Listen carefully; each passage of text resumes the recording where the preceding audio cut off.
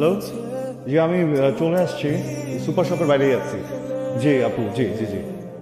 জি কে fire station সাফা আমি আসছি আপনাকে নিতে। আপনি রাইড শেয়ার করেন জি।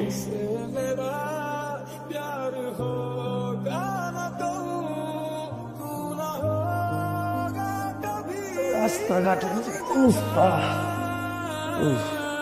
কি তোমার বাড়ি থেকে কিছু বলছে? এই তানহা। বিয়ে করছিলি কেন মানে? কেন বিয়ে করছিলি আমারে? আমার লোকে যদি চিঠি করবি তাহলে বিয়ে করছিলি কেন? আমি তো ভালোই ছিলাম। বিয়ে করলি কেন? আমার সাথে এখন করলি কেন? তোমার। চিট করব কেন তোমাকে? হ্যাঁ দেখো আমি তোমাকে ভালোবাসি শোনা। কি হয়েছে কি আমাকে বলো? ভালোবাসা আমার টাকা যেটা দেখছ নাকি? তুই আমার ভালোবাসা তোর ভাই কাজ করল হয়েছিল কেন? তুই আমারে কি করছিলি তুই আমারে কইছিলি তুই গ্যারেজে তুই গ্যারেজে থাকল ওই মায়া তোর লাগে কেন আমি মিথ্যা বলছি এটা মানতেছি কিন্তু আমি এটাকে চিনি না। আজকে ফার্স্ট টাইম আমার বাইকে উঠছে আমি জাস্ট ওনাকে একটা জায়গায় নামাই দিচ্ছি আমি আমি নাম পর্যন্ত জানি না বিশেষ করে আমি ছেড়ে বলতে তুইও বেড়ে চিরস্তা ওই মায়া তোর বাইকে বসে থাকে। তা আবার তোরা ধরা ধরা বসে থাকে। কি আমি গ্যারাম থেকে আসছি দেখে কি আমার বড় মনে হয়? আমি এখন আমার বাপের কাছে আমি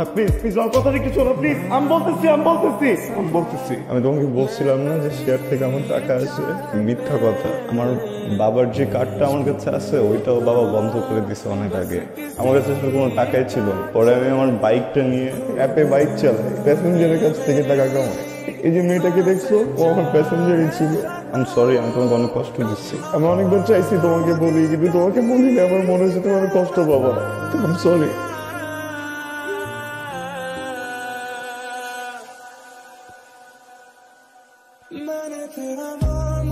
কিরে দোস্ত কি হয়েছে? রাফসানের সাথে কোনো ঝামেলা হচ্ছে ঝামেলা হয় নাই। আমি আর রাফসানকে ভুল বলছিলাম ও আসলে রাইড শেয়ার করতেছে। এই ছেলেটা এত কষ্ট করতেছে। দিন রাত পরিশ্রম করতেছে। শুধুমাত্র আমার লেগে আমাদের সংসারটা লেগে। সেই সকালে যায় রাইতে আসে। আমার ইচ্ছে করে না ওর আমি একটু ঘুরতে যাব। পার্কে বসে বাদাম খাব। কিছু করতে পারতেছি না। নিজেও তো কিছু করি না। নিজে একটা কাজ টাজ করলে আসে কইতাম যে তুমি এত পরিশ্রম করে না দুজন মিলা সামলাই নেব। এটাও তো পারতাছি না। কিন্তু দোস্ত এত তাড়াতাড়ি কোনো অপশনও তো নাই না। গ্যারামে থাকলেও মনে কর পোলা প্যান করে গান টান শিখা কিছু টাকা আর্ন করতে পারতাম। এখানে কি করব আমি? দোস্ত সন্ধ্যার সময় তুই একটু রেডি হয়ে আসিস তো? তোকে নিয়ে একটা জায়গায় যাব কই যাব? আমার উপর আস্থা রাখ তুই একটু রেডি হয়ে আসিস।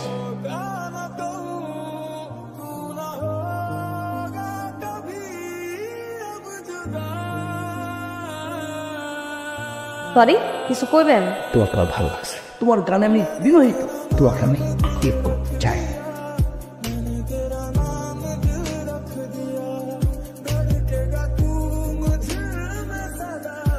প্রবলেম কি তোমার বড় ভুল করে ফেলছো না? বিয়ে করা এখন ঠিক হয়নি একদম। বা বিয়ে করা ঠিক হয়েছে বহু মানুষকে করে ফেলছো তাই না? হ্যাঁ, আর আমি তো অযোগ্য অপূর্ব বুঝছ না? আমি তো বকু রাখতে জানি না। কিচ্ছু দিতে পারি না আমার কাছে টাকা নেই। এই জন্য আসছো এখানে?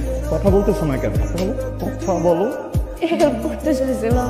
সারাদিন রাতে আজ বড় বড় ভালো লাগে না আমি হেল্প করতে চাইছিলাম। মাতাল মানুষদের সামনে দাঁড়ায় দাঁড়ায় গান দিয়ে আমাকে হেল্প করতে চাই স্যার কি করছ আমি বলছি কখন আমাকে বের করো তুমি? হ্যাঁ, আমি চাইছি আমি তোমার কাছে। কি করতেছো তুমি এখানে? তোমার যদি আমাকে হেল্প ইচ্ছা থাকে তুমি আমি বাসে যাওয়ার পর একটা ভালো কিছু রান্না করে আমাকে খাইতা হ্যাঁ আমার সাথে ভালো কথা বলতা। আমি যখন ঘুমিয়ে যাই আমার মাথা একবার হাতটা বুলাই দিতে তাও তো বুঝে যেত। এটা কি এটা কি হেল্প করতে আসছো তুমি আমারে? গো আমার হেল্প করো এখন যাও। হেল্প করো আমার যাও ভিতরে যাও। হ্যাঁ ভাইয়া কে আছেন? এই নিয়ে যান আপনার বার সিঙ্গারে নিয়ে যান এখান থেকে। তানহা? এই তানহা কি আমি চলো আমার সাথে চলো আমরা ডাক্তার কাছে যাব দেখি দেখি তো এটা ডক্টর অফিসে যাইতে হবে। না শুনি। হাসপাতালে যাইতে হবে তোমার একটা কথা বলা হয় নাই। আমি প্রেগনেন্ট এই জন্যই তো বলতেছি চলো তুমি। হ্যাঁ তুমি বাবা হবা।